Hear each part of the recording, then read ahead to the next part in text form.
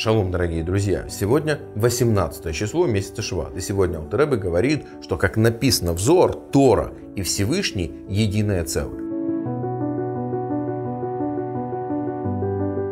А в книге Тикуней Зор приводится пояснение, что 248 повелительных заповедей – это 248 частей тела короля. Король – это Всевышний, владыка мира, Мелех Алам. Почему заповеди называются части тела короля?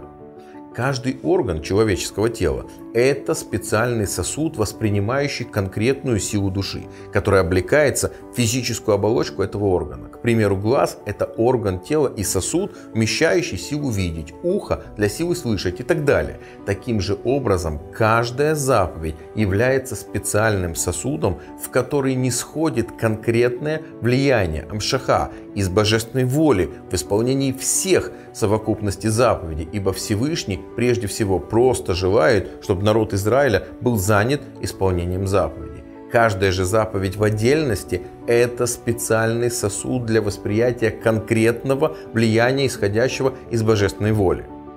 Это влияние не сходит к мирам благодаря тому, что еврей исполняет эту конкретную заповедь. Поэтому заповеди называются органами тела короля. Но здесь требуется дополнительное объяснение. Ведь из этого определения заповедей в Тикунайзор следует, что они являются лишь органами короля, органами, которые хоть и сливаются со специфической силой задействующих их, но все же не являются совершенно единым целым с этой силой. Это определение заповеди вызывает удивление еще и тем, что смысл всей Торы сводится лишь к тому, чтобы служить объяснением к исполнению заповедей.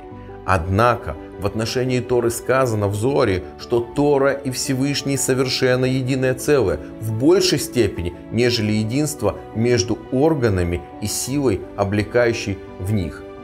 Поняв это, мы можем обратить внимание на высоту мудрости и святости нашей священной Торы. Хорошего дня, друзья, и до новых встреч.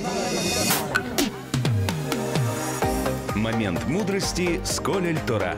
Присоединяйтесь к нам в Facebook, YouTube и не только.